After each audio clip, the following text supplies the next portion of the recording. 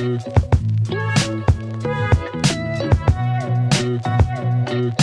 morning. It's day nine here in the Gilbertson Airplane Factory.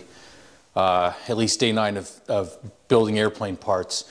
Um, so I have two rudder skins, um, and I'll explain why when I show you how I messed each of them up a little bit and what I'm going to do to fix it. That'll be the, the focus of, of what I'm doing today. Um, and then when I'm done with that, I'll move on to non-airplane building part stuff. Um, I've got some wood so I can build cradles to hold uh, things like the horizontal stabilizer and the vertical stabilizer and whatnot when I begin riveting those. Um, other than that, uh, airplane building is a challenge. Thank goodness there are so many resources for uh, Vans aircraft builders. Um, anyways, let's get to it. Stay tuned. Here I have two not one, but two rudder skins for my Vans RV8 build. The one on the left was the one that was originally sent with my kit, and then the one on the right is, or was a replacement. The one on the left was damaged in shipping. The corners up here were bent, and you can see where I worked to flatten the bend out. That one doesn't look very bad. Uh, this one was a bit worse, and it's a bit wavy. Vans Aircraft said that, that this was fine, that I'd be able to use a hand seamer, excuse me, hand seamer to flatten those out, and it wasn't a big deal. But it was a brand new kit, and I didn't want to start off working with damaged parts. So they did send a replacement. So in that sense, I had a little bit of safety early on in the build.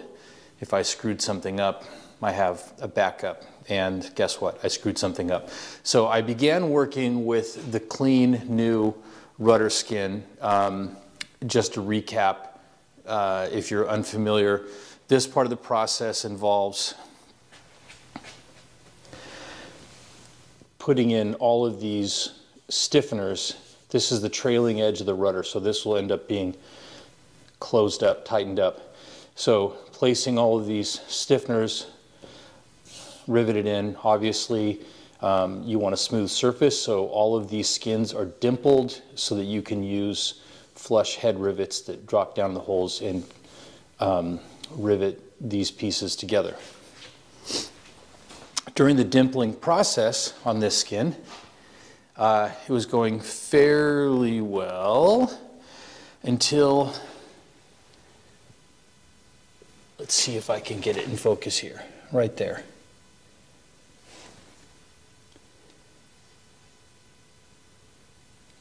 Well, it's hard to get a read on that, but basically, I missed the spot on this one and created like a little figure eight dimple that's not usable.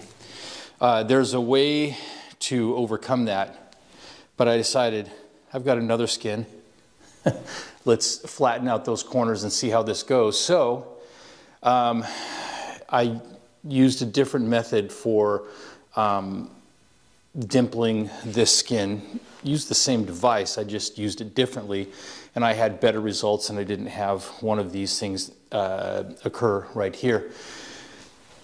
So then it was time to uh, install the stiffeners. Rivet all of those into place. And for the most part, this wasn't bad. Um, on this side, of the trailing edge. Remember, this is the, the rudder, so this is actually, this is the back. The airplane goes that way. Um, this went okay, except I did have one ugly boo-boo down here that does kind of stand out on camera. This is a rivet that I tried to drive um, when it wasn't over the uh, back riveting plate. So more about back riveting later, but basically that's what happened. So it's cosmetic. Um, I had to drill it out and then reset it, but I ended up with that Audi kind of thing. This side of it, uh, back riveting, was a little more difficult because let's take a look inside. Once all of these stiffeners on this side were in place, trying to back rivet the two innermost uh, rivets with this in the way um, became pretty challenging, and I was worried about opening up this bend too much to get room for the rivet gun in there. And so I decided on several of these that I had to, um, rather than back riveting, just had to uh, buck these. And I didn't do a very good job on a few of them. Came out really ugly. If, if the uh, rivet gun gets away from you, if you're not holding it steadily enough with enough pressure against, it'll skip on you and give you this and this. And those are just ugly. So, what I've decided to do is that the, the next stage in this process is to put the final bend into the trailing edge right here using this um, device that I built yesterday. It'll sandwich the trailing edge in there and put the work on getting that bend correct. Um, I'm going to go ahead and do the bend on this one, knowing that I'm actually not going to end up using this rudder because I think that these, this is an accumulation of too many errors here. So I'm not going to use this rudder skin. Um, I'm going to do the repair on the bad dimple on this rudder skin and I've reordered the stiffeners, which aren't very expensive. Um, I'll redo the stiffeners and do that, having the practice of making the bend on this one. So, yeah, that's what's happening today. Okay, here's an update on the boogered up hole dimple on the rudder skin. Let's see here. The original hole was right there in the middle, and you can see that when I was dimpling it, I kind of flinched a little bit and got just off of the hole and created a little figure eight. That hole's no good. The solution is to put a doubler behind it, which I'll show you in a moment, and then create two new holes as part of that doubler that split the difference between the original hole and the other ones down the line, assuming that you can maintain the proper edge distance, which you can. So, uh, on the inside, this is what it looks like for now. Note there's no stiffener in place, but that's the doubler in place uh, made out of 32 thousandths uh, Alclad aluminum sheet.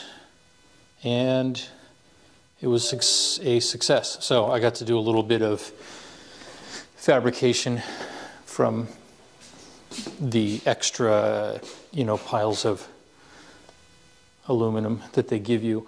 This was first attempt at that doubler, but uh, right here, but you can see that the the drill bit wandered a little bit on me when I went to drill the holes, so I didn't like it. So I remade it, and that's that.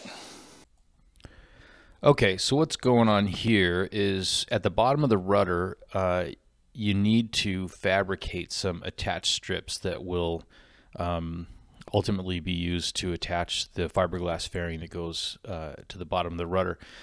Um, it's not very difficult to do, but it is pretty satisfying for somebody who's never done anything like this uh, before to get to um, completely fabricate a piece, even a simple piece, out of uh, some scrap uh, or spare aluminum, um, one for each side of the rudder, uh, I went ahead and did this uh, while I was uh, fabricating the little doubler to fix the messed up hole.